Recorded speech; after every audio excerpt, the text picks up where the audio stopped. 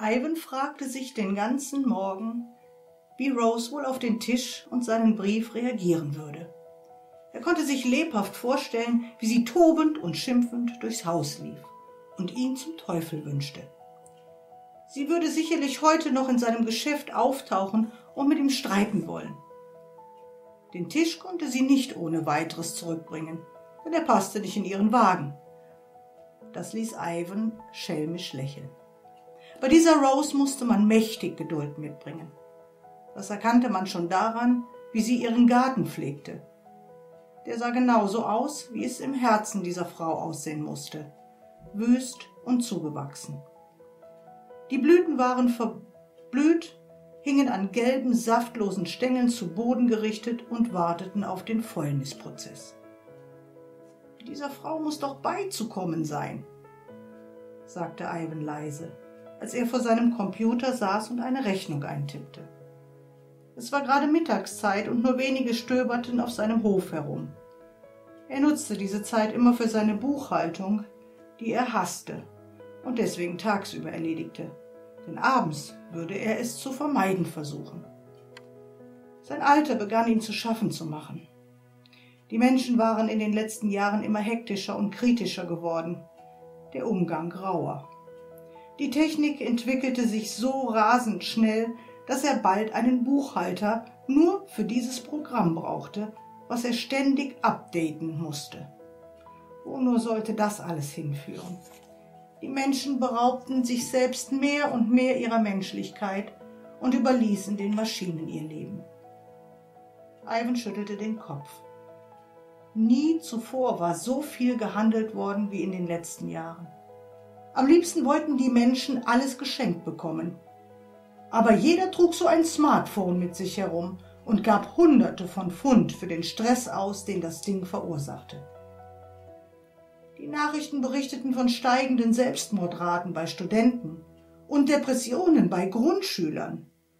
Irgendwas lief schief in dieser Welt. Dabei war sie so einfach zu begreifen. Wieder dachte er an Rose. Wie schön wäre es, wenn sie seinen Rat annehmen würde. Ivan lächelte. Ob sie den Tisch schon ins Haus geholt hatte? Oh, wie würde der sich freuen, die alten Wände wiederzusehen und den Geruch im Haus einzuatmen. Welch ein Fest! Der Tisch würde lachen, singen und triumphieren, dass er auf seine alten Tage das noch erleben durfte. Wie sehnsüchtig und traurig hatte er monatelang in Ivans Lager gestanden, wartend auf die Abreise. Wir schaffen das, hatte Ivan ihm versprochen. Wir müssen nur Geduld haben und etwas Glück, denn diese neue Besitzerin weiß noch nicht, wer und was du in Wahrheit bist. So übte sich auch der Tisch in Geduld und stand endlich in Roses Cottage. Ihm gegenüber lehnte ein anderer Tisch an der Wand, ein gewaltiger, viereckiger und erhabener Brocken.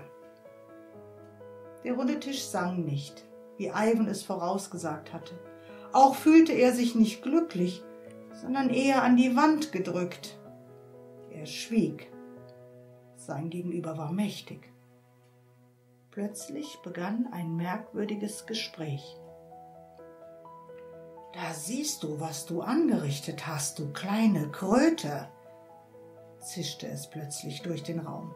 Die Beine hat sie mir abmontiert und mich wie Abfall an die Wand gestellt. Der runde Tisch stand schweigend an die Wand gelehnt. Er würde einem solchen Monster nicht beikommen können. Ihm waren das Lachen, die Fröhlichkeit und die Gemütlichkeit auf den Leib gepinselt worden. Nicht so dem Großen, der Beschimpfungen durch den Raum zischte und sich um seine Aufgabe betrogen fühlte. Im Esszimmer herrschte Zwiespalt. Auch ich habe schlechte Zeiten erlebt, flüsterte der runde Tisch plötzlich. Ha! rief der Eckige zurück. Es gibt keine schlechten Zeiten, es gibt nur Zeiten, die du nicht beherrschst. Dann bist du ein Versager. Der runde Tisch schwieg. Wie leicht nahmen die Menschen dieses Wort in den Mund um ihr eigenes Versagen zu kaschieren. besonders die Mächtigen. Ja, diese merkwürdige Konversation hatte wirklich in Roses Cottage stattgefunden. Doch nur die Eingeweihten dieses Geheimnisses konnten sie hören. Ivan war einer von ihnen. Für ihn steckte in jedem Möbelstück ein Leben, das sich auf die Menschen übertrug. Manchmal war es ein Leidensweg, manchmal ein Glücksfall. Es kam immer darauf an, welche Menschen das Möbelstück erhielten. Welche Stimmung herrschte in diesem Haus und welche Gefühle steckten in den Menschen drin? Wer dinierte an dem Tisch, pflegte ihn oder wer kratzte und beschädigte ihn?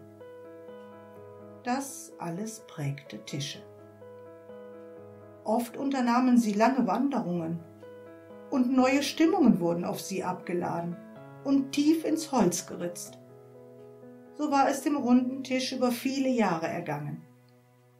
Er war einmal mit viel Liebe für dieses Cottage hergestellt worden, hatte Freud und Leid gesehen und wusste so einiges zu berichten. Dann diese nette Familie. Oh, war das eine Freude gewesen. Drei kleine Mädchen hatten täglich ihre kleinen Händchen auf die Tischplatte gelegt und dabei so niedlich gelacht. Der Vater hatte zu jeder Mahlzeit gebetet und dem Leben für sein Glück gedankt. Er ließ alles in diesem Haus schützen und segnen. Die Mutter hatte ihn stets sauber gehalten und mit wunderschönen bestickten Tischdecken verziert, so dass es eine Freude war, in diesem Cottage zu leben. Doch dieser eckige Tisch, der ihm gegenüberstand, passte ganz und gar nicht in dieses Zimmer. Er trug Stolz und Falschheit in sich. Der runde Tisch schwieg und wartete sehnsüchtig auf Roses Rückkehr. Sie musste ihn von dieser Plage befreien, sonst würde Ivans Idee kein glückliches Ende nehmen. Rose brachte es nicht übers Herz, dieser Jackie ihre Meinung zu sagen. Irgendetwas hielt sie plötzlich zurück und ließ sie den Tee genießen und der Musik lauschen. Wie schön! Jackie sah sie an und Rose stellte zum ersten Mal fest, wie ähnlich sie Ivan sah. Sie könnte glatt seine Schwester sein. Beide hatten ein offenes Lachen und strahlten Güte und Sympathie aus. Die Falten waren an den rechten Stellen, die ihr häufiges Lachen widerspiegelten. Rose spürte Verwirrung aufkommen, denn sie konnte mit solchen Momenten nicht gut umgehen aus ihrer Sicht waren alle Menschen berechnend und eigennützig. Eine schwere Bürde, mit dieser Einstellung zu leben. Rose suchte die Hinterhältigkeit in Jackie, doch sie fand keine. Wäre ihre Mutter dabei gewesen, hätte sie gewiss etwas gefunden. Doch es gab keine Mutter mehr, die ihr die Welt erklärte. Und Rose fühlte sich plötzlich wie ein hilfloses Mädchen, das die Welt noch nicht verstand über die Ratlosigkeit ins Gesicht geschrieben. Es ist schön, Sie hier in Bossington zu haben, hörte sie Jackie sagen. Die Worte klangen so weit weg, denn sie waren ihr fremd. Niemand hatte es schön gefunden, Rose in der Nähe zu haben. Selbst ihre Mutter hatte ihr oft gesagt, welch eine Plage sie sei. Dabei hatte sie ständig nur sich selbst gemeint. Doch Rose litt unter diesen Äußerungen und kleidete sich dementsprechend. Dabei hätte sie so gerne einmal bunte Kleidung getragen und einen schicken Hut und eine ganz verrückte Brille dazu. Die Mitarbeiter im Büro hatten sie gemieden, obwohl sie so tüchtig gewesen war. Sie war die, die die meisten Anträge fehlerfrei bearbeitet hatte. Sie hatte sich nie einer zusätzlichen Kaffeepause hingegeben oder über andere geschwatzt Sie hatte ständig ihre Pausen im Büro verbracht. Meistens hatte sie sogar dann weitergearbeitet. Sie war eben eine Plage. Und so konnte Rose den Worten von Jackie keinen Glauben schenken. Warum sollte es für andere plötzlich schön sein, dass sie da wäre? Sie ließ ihren Garten verkommen, lehnte jeden Kontakt ab und hatte diesen alten Mann öffentlich im Geschäft beschimpft. Das hatte sich sicherlich herumgesprochen. Doch es war genau das, was Ivan und Jackie motivierte, Rose in ihre Mitte zu nehmen. Diese Frau hatte das Gefühl verloren, Gutes zu spüren und zu tun. Das musste sie wiederfinden, wenn sie den Rest des Lebens hier verbringen wollte. Sie ist gestrandet, hatte Ivan zu seiner Schwester gesagt. Wenn wir sie nicht mit dem versorgen, was sie zum Weiterleben braucht, wird sie hier verenden. Ivans Eltern konnten in solchen Fällen auch nicht wegsehen. Sie erkannten schnell die Opfer dieser Welt und schenkten ihnen Vertrauen und Hilfe. Das wurde von jeher in seiner Familie so gehandhabt. Und sie fanden immer wieder neue Opfer. Allein in Ivans Junkshop standen unzählige Opfermöbel herum, verblassten und stießen ihren Lack ab. Ihr Holz trocknete aus und wurde grau und unansehnlich.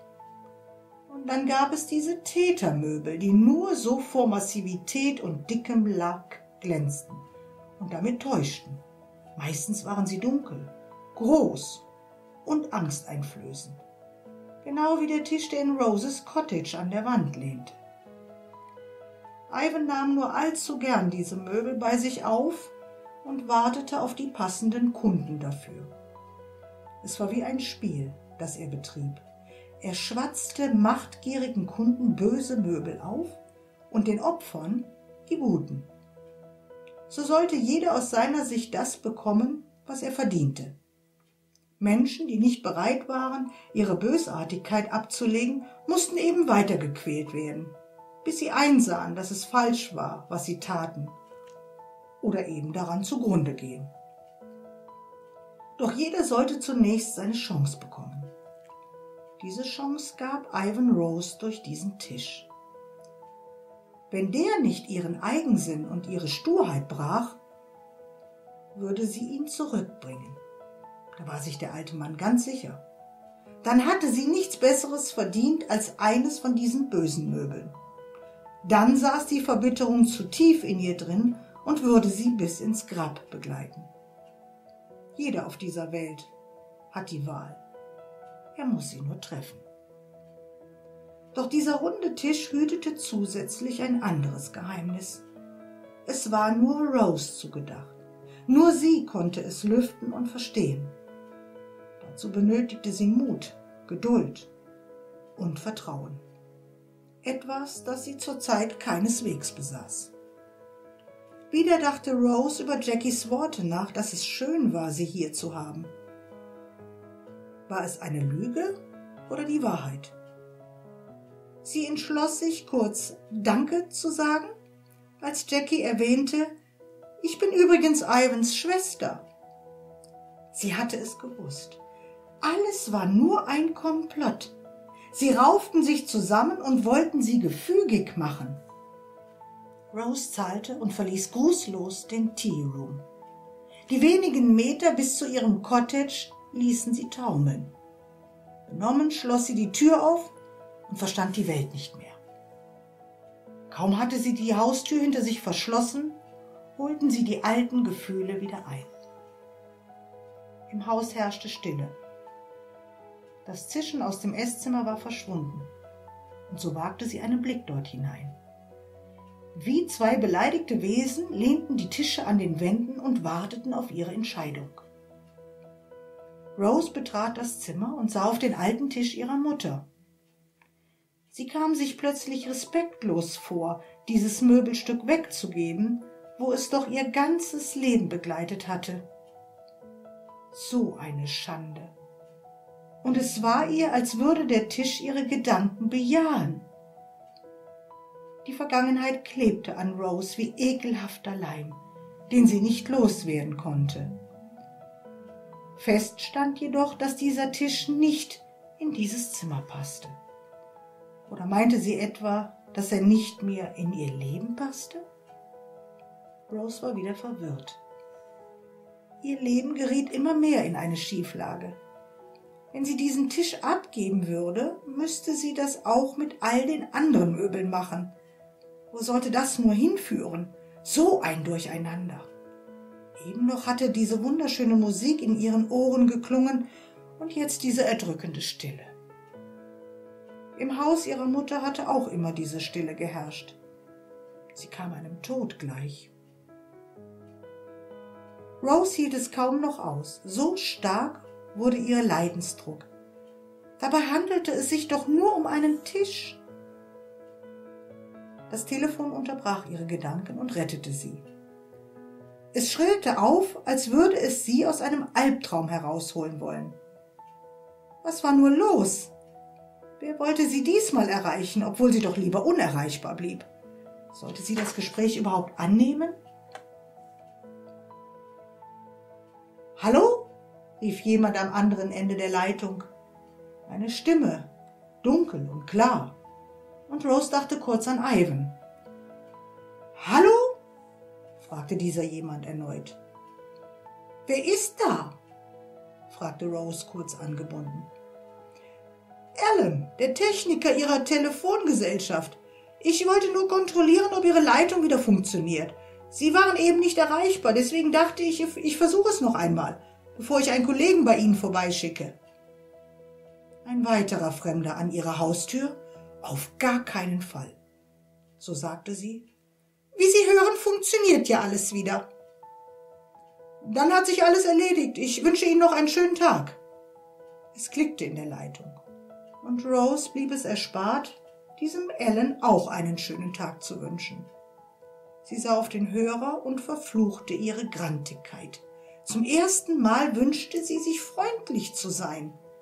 Doch es fühlte sich an, als würde ihre Mutter mit erhobener Hand hinter ihr stehen. Wage es! Es wäre nicht das erste Mal, dass Rose Schläge erhielt. Myrtle hatte immer schon gerne Ohrfeigen verteilt, wenn sie ihre eigene Wut nicht in den Griff bekam und es war oft nicht bei Ohrfeigen geblieben. Sie hatte jegliche Wut auf dem Körper ihrer Tochter platziert. Da war die Wut auf sich selbst, dann auf den ehemaligen Mann und zum Schluss auf ihre Eltern und die Nachbarn. Die Liste war lang, genau wie die Schläge, die Rose auszuhalten hatte.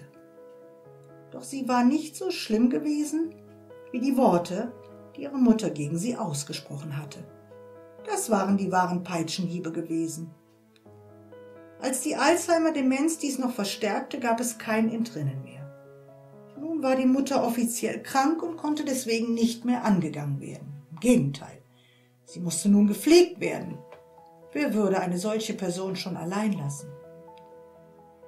Alles war Teil eines großen Plans, eines Vertrages, eines Pakts mit dem Teufel. Rose besaß sogar die gleiche Handschrift wie ihre Mutter. Die alte Verbitterung hatte sie wieder eingefangen. Sie legte das Telefon beiseite, ging zurück ins Esszimmer und betrachtete den runden Tisch. Rose spürte plötzlich, wie eine Art Macht hinter ihr wachte und auf die Exekution des runden Tisches wartete. Welche Wohltat, das Holz im Kamin knistern zu hören. Die Macht siegt immer, zischte es durch den Raum. Immer? Rose schwieg. Als sie den runden Tisch betrachtete, überkam sie eine Art Ruhe. Wie merkwürdig. Sie drehte sich um und sah auf den großen Tisch. Ihr Adrenalin stieg an und ihr wurde heiß. Was ging hier vor? Sie drehte sich wieder um und das Adrenalin sank. Eine Täuschung, dachte Rose. Irgendeine Täuschung ging hier vor. Sie war überfordert und drehte sich noch einige Male zwischen den Tischen hin und her. Immer wieder überkamen sie die gleichen Gefühle. Vergangenheit oder Zukunft? Rose ging zum Fenster und sah in den grauen Tag hinein. Wie gut, dass sie niemand beobachtete, obwohl sie das Gefühl hatte, dass ihre Mutter die ganze Zeit neben ihr stand, damit ihr ja kein Fehltritt passierte. Wie groß war ihr Verlangen nach der Vergangenheit? War sie nicht hierher gezogen, um genau das loszuwerden? Das Loslassen ist einer der schwersten Prozesse im Leben, stellte Rose bestürzt fest. Du willst es, aber du kannst es nicht. Dabei war es so einfach, diesen großen Tisch hinaus in den Garten zu tragen und ihn dort abzustellen. Sie könnte danach immer noch entscheiden, ihn wieder ins Haus zu holen immer ein Türchen offen halten. Das hätte ihr auch die Mutter geraten. Das alte Bekannte war doch das Beste. War es das? Sollte sie Ivan anrufen und um Rat fragen? Zur Hölle. Nein, wegen ihm war sie doch in diesen Konflikt geraten. Wegen ihm stand dieser gammelige Tisch im Haus, wo sie doch einen viel schöneren besaß. Sie wagte es. Es war ein plötzlicher Moment, in dem ihre Mutter unachtsam gewesen war und Rose die Entscheidung traf. Sie ging in die Küche, öffnete dort die Hintertür zum Garten und holte die große Tischplatte. Die trug sie hinaus zum Schuppen und lehnte sie dort an. Dann holte sie die Beine des Tisches und die Stühle. Auch wenn sie die gut für den runden Tisch gebrauchen konnte, doch sie passten nicht. Also landeten sie neben dem Tisch im Garten. Sollten ihre Nachbarn doch denken, was sie wollten. Im Schuppen war kein Platz, also müssten die Möbel draußen bleiben. Rose wollte nur wissen, wie es sich anfühlte, einen wesentlichen Teil ihrer Vergangenheit aus dem Haus entfernt zu haben. So war sie schlicht erstaunt, dass sie weder ein schlechtes Gewissen noch ein Schuldgefühl einholte. Es überkam sie eher das Gefühl, etwas besser durchatmen zu können. Als sie das Esszimmer betrat, herrschte eine beruhigende Stille, eine, die sie nicht kannte. Rose blickte aus dem Fenster und sah den Tisch, der einige Meter entfernt in der Kälte stand. Dazwischen das geschlossene Fenster. Sie hatte es gewagt. Sie hatte einen Teil der Vergangenheit aus ihrem Haus verbannt. Wieder läutete das Telefon. Dieser verdammte Techniker. Rose fühlte sich in ihrem Vorhaben gestört und nahm entsprechend gereizt das Gespräch entgegen. Hier ist Ivan, hörte sie und spürte direkt Zorn aufkommen. Gut, dass Sie anrufen, sagte sie spitz. Er unterbrach sie. Ich weiß, dass Sie zornig auf mich sind. Ich gebe Ihnen noch vier Stühle zu dem Tisch, wenn Sie mir Ihren alten mit den Stühlen geben, und ich lege 200 Pfund obendrauf. Er ließ ihr keine Zeit zum Reagieren und wusste genau, was er tat. Diese Stühle gehören zu dem anderen Tisch, und ehrlich, was wollen Sie mit einem Tisch ohne Stühle? Er lachte. Ich könnte sie gleich heute Abend vorbeibringen und ihren alten Tisch mitnehmen, damit er draußen nicht verkommt. Rose verstummte. Woher wusste er, dass ihr Tisch draußen stand? Reine Vermutung kam es ihr in den Sinn. Er wollte nur Macht über sie ausüben. Das lag auf der Hand. Sie hörte ihn weiterreden. Hören Sie, Rose, ich werde Ihren alten Tisch hier nur lagern. Ich werde ihn nicht verkaufen, aber er sollte geschützt untergebracht werden. Das sehen Sie doch ein, oder? Geschützt? Ivan wusste, wovon er sprach. Er musste nicht den Tisch schützen, sondern Rose. Sie durfte jetzt auf keinen Fall rückfällig werden. Sie können ihn natürlich jederzeit zurückbekommen. Das Geld können Sie dann behalten. Ich hätte dann nur gerne den runden Tisch mit Stühlen zurück. Sie werden keinen Verlust erleiden. Ich übernehme auch jede Montage. Sie wusste nicht darauf zu reagieren. Hatte Jackie etwa gesehen, dass sie den runden Tisch ins Haus geholt hatte und ihren Bruder direkt informiert? Das ist eine Unverschämtheit, war alles, was Rose herausbrachte. Ja, es war eine Unverschämtheit, dass der alte Mann sich wieder in ihre Belange einmischte. Ivan reagierte mit Schweigen. Er räumte ihr Zeit ein, ihre Wut freien Lauf zu lassen. Die musste raus, damit sie einen klaren Gedanken fassen konnte hörte sie am anderen Ende schnaufen. Nach einer Weile sagte er, ich rufe heute Abend nochmal an, Rose. Sie können sich bis dahin ja überlegen, ob Sie mit dem Handel einverstanden sind. Er legte auf.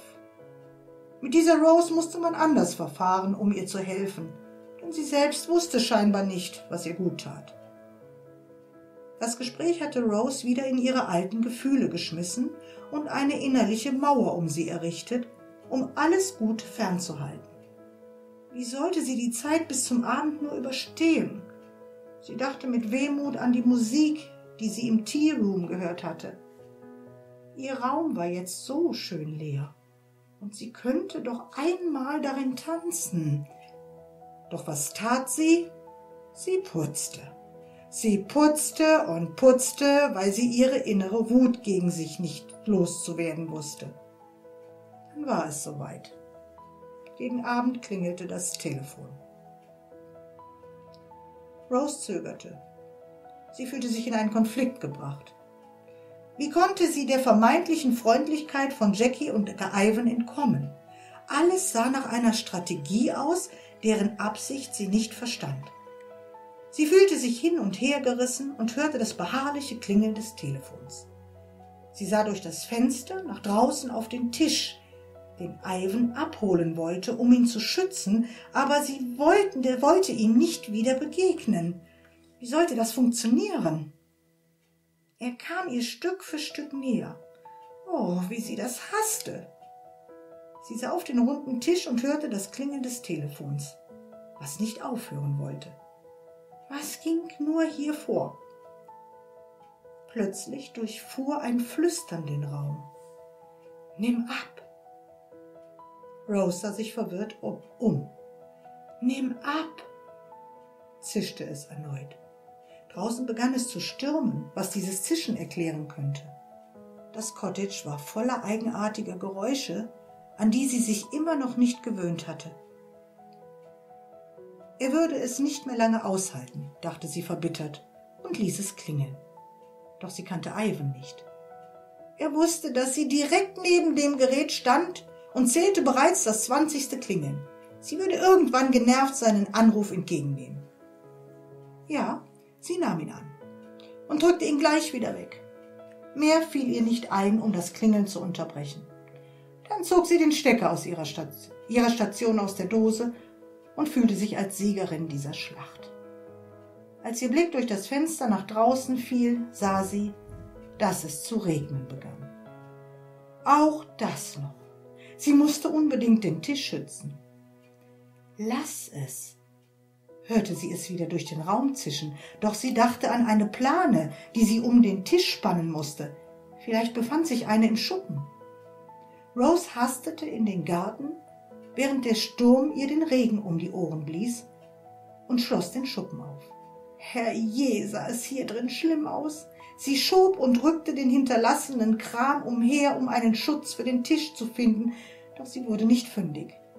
Der Regen wurde stärker. Oh nein, auch die Polsterung der Stühle wäre jetzt ruiniert, wenn ihr nichts einfiele. Sie beschloss, alles ins Haus zu, zu holen. Was nur hatte sie angerichtet? Ein totales Durcheinander. Das konnte doch nicht wahr sein. Das Wasser der nassen Möbel tropfte auf den Boden und bildete Pfützen auf den Steinfliesen. Rose rannte nach oben und holte Handtücher, die sie unter die Möbel auslegte. Welch ein Chaos. Wütend blickte sie ins Esszimmer auf den runden Tisch. Du bist schuld, schrie sie und trat gegen die Tischplatte. In diesem Moment verspürte sie einen Schlag auf ihren Rücken, als hätte sie sich soeben selbst getreten. Dann sank sie weinend in die Knie. Sie war nervlich am Ende. Der Regen prasselte auf das Strohdach des Cottages. Rose wusste nicht, wie lange sie auf dem Boden gesessen und geweint hatte. Ihre Verzweiflung hatte sie von einem in den nächsten Weinkrampf gejagt. Ivan wäre nicht Ivan, wenn er an diesem Abend nicht doch noch vorbeigekommen wäre. Er wusste genau, wie es um Rose stand und auch die Situation, in die er sie gebracht hatte. Da er den runden Tisch nicht mehr ans Haus gelehnt sah, lag es auf der Hand, dass sie ihn hier reingeholt hatte. Er sah Qualm aus ihrem Kamin emporsteigen. Sie hatte doch nicht das gute Stück verfeuert? Er klopfte aufgebracht an ihre Haustür und vernahm ein leises Schluchzen hinter der Tür. Da sie nicht reagierte, klopfte er erneut, lauter und fordernder. Rose? rief er. Rose, bitte machen Sie auf. Seine Angst um den runden Tisch wuchs. Das Schluchzen verklang. Im Haus war nun alles still. Rose, ich weiß, dass Sie da sind. Ich wollte Ihren Tisch abholen, um ihn einzulagern, und ich habe 200 Pfund dabei. Bitte machen Sie auf. Was hatte er erwartet? Dass sie ihm freudestrahlend um den Hals fallen würde, weil er so ein guter Mensch sei? Oh Gott, er wollte gar nicht daran denken, dass sie seinen Tisch klein gehackt und im Kamin vernichtet hatte. Welch eine Katastrophe! Das durfte nicht sein. Er konnte sich doch nicht so geirrt haben. Rose! schrie er jetzt. Zum Teufel! Machen Sie die Tür auf! Vielleicht war noch etwas zu retten. Dann hörte er von drinnen Rose schreien. Was fällt Ihnen ein, mich derart zu belästigen? Belästigen? Ivan starrte auf die Tür, an der nicht einmal ein Weihnachtsgesteck hing. Er machte sich doch nur Sorgen um sie, um den Tisch und das, was diese ganze Prozedur bewirken sollte. Ich will meinen Tisch zurück, rief er entschieden. Sofort! Er klopfte erneut. Sie wissen meine Freundlichkeit nicht zu schätzen. Ich will meinen runden Tisch zurück. Rose überlegte.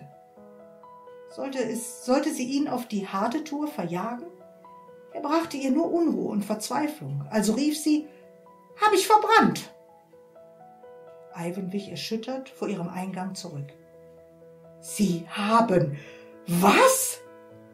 Ich habe Ihren dämlichen Tisch verbrannt, damit Sie endlich Ruhe geben. Liefen ihm über das Gesicht. Das ist nicht Ihr Ernst. Doch, schrie sie, damit er endlich Ruhe gab. Sie, sie sind, Sie sind. Er wollte sie nicht eine Hexe nennen, doch er besann sich. So entschied er aber, eine abscheuliche Person zu sagen. Ja, das traf es ziemlich genau. Sie war abscheulich.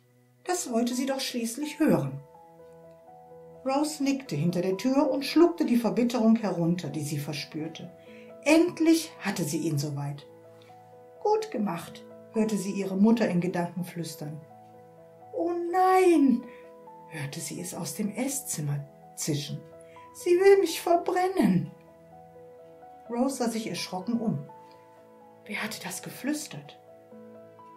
Ich werde Ihnen nie wieder etwas anbieten und bitte betreten Sie nie wieder mein Geschäft, Sie unbelehrbares Weibsbild. Noch nie hatte Ivan solche Worte in den Mund genommen.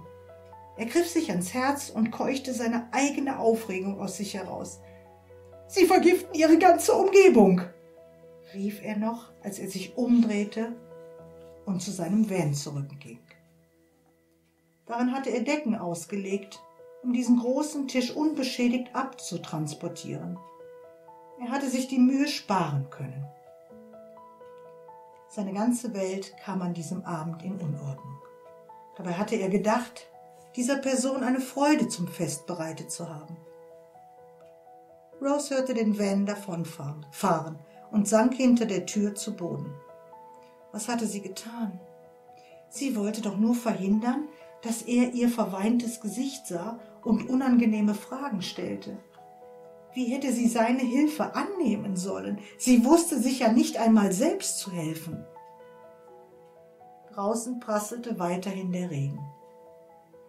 Während sich ihre Nachbarn weihnachtliche Musik anhörten, wurde sie von Sturheit und Verbitterung geplagt. Sie konnte sich nicht überwinden, freundlich zu sein. Am späten Abend hörte sie die Weihnachtssänger durch die Straße ziehen. Ihnen folgten die Anwohner von Ellerford und Bossington bis zur Küste. Dort gab es ein großes Weihnachtsfeuer, um den Geist der Weihnacht zu empfangen. Die Information dazu hatte überall an den Infowänden der Orte gehangen, damit niemand dieses kleine Fest vergaß. Rose lugte durch einen Ritz ihrer Gardinen, um der Prozession zuzuschauen. Der Chor hörte sich bezaubernd an, und sie sah die dick vermummten Bewohner die Straße mit Fackeln entlangziehen. Der Regen hatte nachgelassen und es nieselte nur noch ein wenig. Wie schön das aussah. Wie immer sah Rose dem wahren Leben nur vom Fenster aus zu. Morgen Abend würde die Weihnachtsmesse im Ort stattfinden. Auch das war sicherlich herzerwärmend, doch Rose konnte sich nirgends mehr sehen lassen. Die Menschen zogen an ihrer Haustür vorbei und sie stellte voller Schuldgefühl fest, dass Ivan nicht unter ihnen war. Was hatte sie getan? Die ganze Nacht gingen ihr die Klänge des Chores nicht aus dem Kopf. Vor ihrem Haus spielte sich die Welt ab, die sie sich ein ganzes Leben lang herbeigesehnt hatte. Sie musste nur die Tür öffnen und hinausgehen. Nein, niemals, flüsterte sie verbissen und lief nach unten, um sich eine Schlaftablette zu holen. Die musste ihre Unruhe stoppen. Am nächsten Morgen. Das Haus sah chaotisch aus. Die ganze Küche war vollgestopft mit ihren alten Essmöbeln. Anstatt Ordnung zu schaffen, hatte sich Chaos ausgebreitet. Voller Wut kämpfte Rose sich zum Wasserkocher durch, um sich einen Instant-Kaffee zuzubereiten. Der Tag begann wieder mit tief hängenden grauen Wolken. Rose hatte nicht die geringste Weihnachtsdekoration im Haus angebracht, weil sie alles weggeworfen hatte, als sie den Umzug vorbereitete. Die Weihnachtszeit hatte noch nie eine gute Erinnerung in ihr hinterlassen. Ihre Mutter pflegte immer diesen fertig dekorierten Kunstbaum vor dem großen Fenster zur Straße aufzustellen, damit ihn alle sehen konnten. An die Fenster hingen sie bombastische Geschenke, Gestecke und sagte, jeder soll sehen, wie gemütlich es bei uns ist. Doch da war nichts Gemütliches, nicht einmal Besinnliches. Es war ein Tag wie jeder andere auch, nur dass Rose ein Geschenk bekam, das sie wenig erfreute ein weiteres Kleidungsstück, was sie mit Widerwillen ihrer Mutter zuliebe anziehen würde. Sie hingegen hatte ihr immer schöne Dinge gekauft, die dann in einem Schrank verschwanden, als wollte sie die bettelnde Liebe ihrer Tochter nicht spüren. Weihnachten wurde regelrecht abgehandelt. Der Baum und die Dekorationen verschwanden am nächsten Tag und es war, als hätte es Weihnachten nie gegeben. Jetzt stand Rose in der Küche zwischen all den Essmöbeln, hielt eine Tasse dampfenden Kaffee in der Hand und sah durch die Hintertür in den Garten hinaus. Was war nur aus ihrer Idee geworden, hier ein neues Leben zu beginnen? Sie wohnte schon fünf Monate in Bossington und nichts hatte sich verbessert. Im Gegenteil, es wurde immer schlimmer und sie dachte an diesem Morgen ernsthaft darüber nach, dieses Haus wieder zu verkaufen, weil sie ihre eigene Abscheu, die sie an den Tag legte, nicht mehr ertragen konnte. Es fühlte sich an, als würde ihr Leben rückwärts laufen und nicht vorwärts. Dabei hatte sie so vieles verändern wollen. In ihrem Kopf waren Ideen und Träume entstanden, die sie endlich glücklich werden, wie sie endlich glücklich werden könnte, doch sie stand sich selbst im Weg. Sie lebte weiterhin mit Verboten, Bestrafungen und Beschimpfungen. Sie sah oft die gestapelten Möbel und sagte, Frohe Weihnachten. Frohe Weihnachten, erklang ein Flüstern aus dem Esszimmer, was Rose erschrocken zur Tür blicken ließ. Wer hatte das geflüstert? Sie hatte es genau gehört und ging mit ihrem Kaffee ins Esszimmer. Der runde Tisch lehnte immer noch an der Wand, daneben der gedrechselte Fuß. Daneben stand der gedrechselte Fuß und lag die Plastiktüte mit den Materialien und der Weihnachtskarte. Rose stellte ihre Kaffeetasse auf das Fensterbrett und griff zur Tüte. Sie holte die Karte heraus und las noch einmal Ivans Brief. Frohe Weihnachten, wünschte er ihr. Sie sah auf den Tisch. Früher hatten ihr die Kollegen frohe Weihnachten gewünscht, auch die Nachbarn, denen sie kurz vor dem Fest begegnete, wenn sie von der Arbeit heimkam. Ihre Mutter hatte ihr nur das Geschenk gereicht und für dich gesagt. Es hatte sich angefühlt, als hätte sie ihr einen Putzlappen in die Hand gedrückt und mach sauber gesagt. Aber einen Tisch hatte ihr noch niemand geschenkt. Sie sah ihn an und spürte in diesem Moment, dass sie irgendetwas zu ihm hinzog, als flüsterte er ihr leise und vertraut Trau dich zu. Sie näherte sich zaghaft und streckte ihre rechte Hand nach ihm aus. Wie albern, dachte sie und zog die Hand wieder zurück. Der Tisch konnte doch nicht reden. Sie be betrachtete den abgeblätterten Lack und nickte. Ja, sagte sie. Du müsstest auch mal dringend überholt werden. Sieh dich an, wie du aussiehst. Zum Fürchten. Wer mag schon an dir dinieren? Es war, als spräche sie zu sich selbst. Sieh dich an, wie du aussiehst, zum Fürchten. Wer mag schon mit dir dinieren? Es hallte wie ein Echo durch den Raum und sie wich erschrocken zurück. Die Einsamkeit, kam es ihr in den Sinn. Es muss die Einsamkeit sein, die mich verwirrt. Sie schickt mir Stimmen. Und Wut, flüsterte es von irgendwoher. Rose sah erschrocken zur Tür und ließ Ivans Karte fallen. Sie landete zu ihren Füßen. Frohe Weihnachten, las sie. Sie hob die Karte auf, brachte sie ins Wohnzimmer und stellte sie auf den Kaminsims, direkt neben das Bild ihrer Mutter, die sie mit scharfem Blick ansah. Als Rose einen Schritt zurücktrat, um ihre erste Weihnachtsdekoration zu betrachten, fiel die Karte plötzlich zu Boden. Sie hob sie wieder auf und stellte sie erneut neben das Bild. Wieder fiel sie zu Boden. Rose schüttelte irritiert den Kopf und wiederholte den Vorgang. Wieder passierte das Gleiche. Voller Wut sah sie auf das Bild ihrer Mutter, als wäre sie schuld, dass die Karte nicht neben ihr stehen bleiben wollte. Wie absurd! Doch sie wollte einen Versuch wagen. Ergriff das Bild, legte es mit dem Gesicht nach unten auf den Wohnzimmertisch, als verböte sie ihrer Mutter die Teilnahme an dem Experiment und stellte die Karte wieder auf den Kaminsims.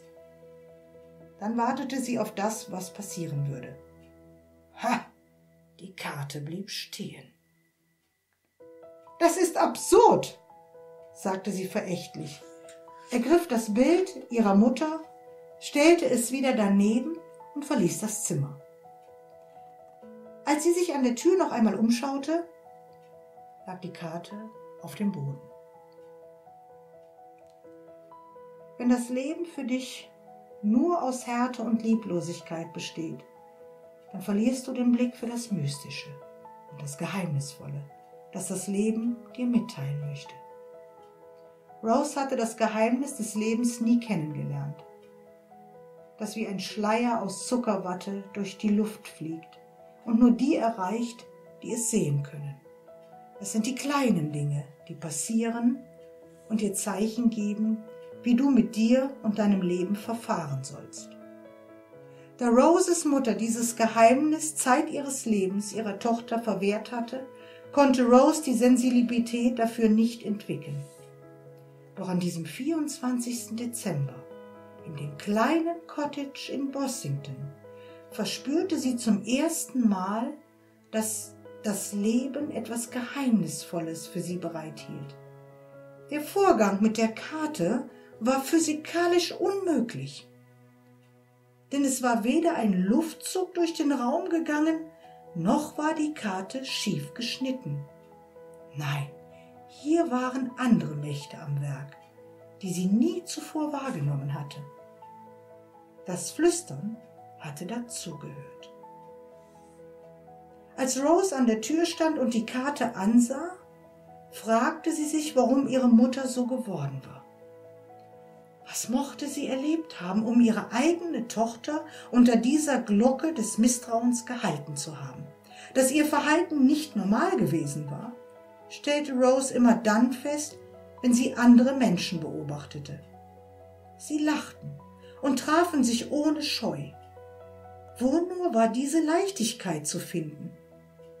Roses Leben fühlte sich wie ein Spinnennetz an, an dem, dem sie zu entkommen versuchte, aber ständig kleben blieb. Bei jeder freundlichen Begegnung vermutete sie böse Hintergedanken, obwohl es keine gab.